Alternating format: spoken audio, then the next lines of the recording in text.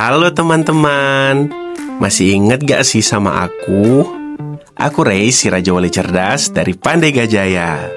Hari ini, Ray mau kenalin teman baru nih. Pingin tahu gak sih? Nah, ini teman Ray. Ayo perkenalkan dirimu.